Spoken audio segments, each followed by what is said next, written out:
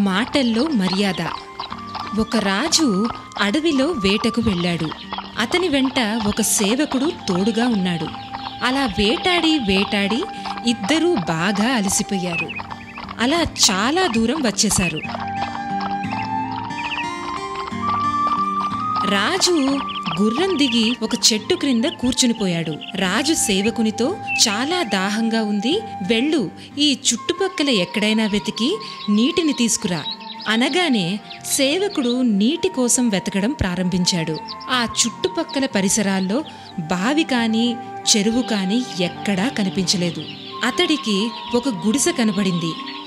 సేవకుడు అక్కడికి చేరుకొని చూడగా ఒక గుడ్డి సాధువు కూర్చుని ఉన్నాడు. సాధువు గుడ్డివాడని గ్రహించి చిన్న చూపుతో నిర్లక్ష్యంగా సేవకుడు సాధువుతో అరే గుడ్డివాడా నీళ్ళు ఇవ్వవా? మా మహారాజు బాగా దాహంగా ఉన్నారు. అప్పుడు సాధువు అరే మూర్ఖసేవుడా వెళ్ళి నీ రాజుతో చెప్పు గుడ్డి సాధువు నీటిని ఇవ్వలేదని. సేవకుడు ఉట్టి చేతులతో మహారాజు వద్దకు వెళ్ళి మహారాజా ఆ గుడ్డి సాధువు నీటిని ఇవ్వలేదు. అనగానే రాజుగారికి అర్థమయ్యి సాధువుతో సేవకుడు తప్పుగా మాట్లాడి ఉంటాడని సాధువుకి కోపం వచ్చి ఉంటుందని సేవకుడితో కలిసి రాజుగారు సాధువు వద్దకు వెళ్ళాడు. అప్పుడు సాధువుతో రాజుగారు సాధువు గారికి నమస్కారములు. అనగానే సాధువు రండి మహారాజా కూర్చోండి మీకేం కావాలి?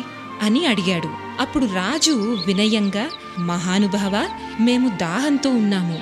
కొద్దిపాటిని నీటినిప్పించగలరా అని అడగ్గానే సాధువు దానికేం భాగ్యం మహారాజా? మీకు ఎంత నీరు కావాలో అంత నీరు తీసుకోండి. నా వద్ద పాలు గాని పెరుగు గాని ఉంటే వాటితో మీకు ఆతిథ్యం ఇచ్చేవాణ్ణి. అది విన్న రాజుగారు నీటిని తృప్తిగా తాగి ఈ విధంగా అడిగాడు. మహానుభావ మీ వద్ద నీరు ఉండి కూడా నీటిని ఎందుకు ఇవ్వలేదు? అనగానే సాధువు మహారాజా వాడి మాటలే ఆ విధంగా చేశాయి. ఆ మాటలు వింటే నేనే కాదు అతనికి ఎవరూ కూడా నీటిని ఇవ్వరు. అనగానే రాజు అయ్యా నేను నా పరిచయం కూడా మీకు ఇవ్వలేదు. మీరు నన్ను ఎలా గుర్తించారు? అప్పుడు సాధువు మంచి మాట తీరే అసలైన పరిచయం. మనిషి మాట తీరును బట్టి ఆ వ్యక్తిని గుర్తించవచ్చు. మీరు మాట్లాడే తీరు మృదువుగా గౌరవంగా ఉంది. అది వింటూనే మాట్లాడే వ్యక్తి మహనీయులు మహారాజుగారు అయి ఉంటారని గుర్తించగలిగాను. అనగానే రాజుగారు సేవకుని వైపు చూశారు. సేవకుడు సిగ్గుతో తలవంచుకున్నాడు. మంచిగా మాట్లాడితే అందరూ సంతోషపడతారు.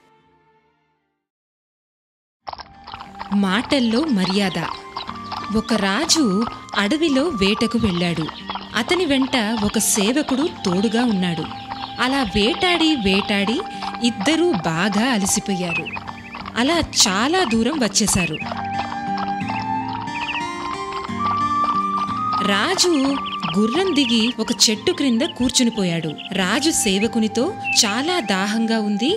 వెళ్ళు ఈ చుట్టుపక్కల ఎక్కడైనా వెతికి నీటిని తీసుకురా అనగానే సేవకుడు నీటి కోసం వెతకడం ప్రారంభించాడు. ఆ చుట్టుపక్కల పరిసరాల్లో బావి కానీ చెరువు కానీ ఎక్కడా కనిపించలేదు. అతడికి ఒక గుడిసె కనబడింది. సేవకుడు అక్కడికి చేరుకొని చూడగా ఒక గుడ్డి సాధువు కూర్చుని ఉన్నాడు. సాధువు గుడ్డివాడని గ్రహించి చిన్న చూపుతో నిర్లక్ష్యంగా సేవకుడు సాధువుతో అరే గుడ్డివాడా నీళ్ళు ఇవ్వవా? మా మహారాజు బాగా దాహంగా ఉన్నారు. అప్పుడు సాధువు అరే మూర్ఖసేవుడా వెళ్ళి నీ రాజుతో చెప్పు గుడ్డి సాధువు నీటిని ఇవ్వలేదని. సేవకుడు ఉట్టి చేతులతో మహారాజు వద్దకు వెళ్ళి మహారాజా ఆ గుడ్డి సాధువు నీటిని ఇవ్వలేదు. అనగానే రాజుగారికి అర్థమయ్యి సాధువుతో సేవకుడు తప్పుగా మాట్లాడి ఉంటాడని సాధువుకి కోపం వచ్చి ఉంటుందని సేవకుడితో కలిసి రాజుగారు సాధువు వద్దకు వెళ్ళాడు. అప్పుడు సాధువుతో రాజుగారు సాధువు గారికి నమస్కారములు. అనగానే సాధువు రండి మహారాజా కూర్చోండి మీకేం కావాలి? అని అడిగాడు. అప్పుడు రాజు వినయంగా మహానుభావ మేము దాహంతో ఉన్నాము. కొద్దిపాటిని నీటినిప్పించగలరా అని అడగ్గానే సాధువు దానికేం భాగ్యం మహారాజా? మీకు ఎంత నీరు కావాలో అంత నీరు తీసుకోండి. నా వద్ద పాలు గాని పెరుగు గాని ఉంటే వాటితో మీకు ఆతిథ్యం ఇచ్చేవాణ్ణి. అది విన్న రాజుగారు నీటిని తృప్తిగా తాగి ఈ విధంగా అడిగాడు. మహానుభావ మీ వద్ద నీరు ఉండి కూడా నీటిని ఎందుకు ఇవ్వలేదు? అనగానే సాధువు మహారాజా వాడి మాటలే ఆ విధంగా చేశాయి. ఆ మాటలు వింటే నేనే కాదు అతనికి ఎవరూ కూడా నీటిని ఇవ్వరు. అనగానే రాజు అయ్యా నేను నా పరిచయం కూడా మీకు ఇవ్వలేదు. మీరు నన్ను ఎలా గుర్తించారు? అప్పుడు సాధువు మంచి మాట తీరే అసలైన పరిచయం.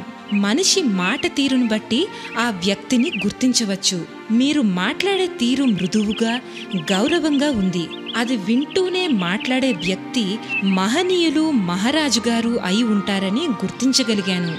అనగానే రాజుగారు సేవకుని వైపు చూశారు. సేవకుడు సిగ్గుతో తలవంచుకున్నాడు. మంచిగా మాట్లాడితే అందరూ సంతోషపడతారు.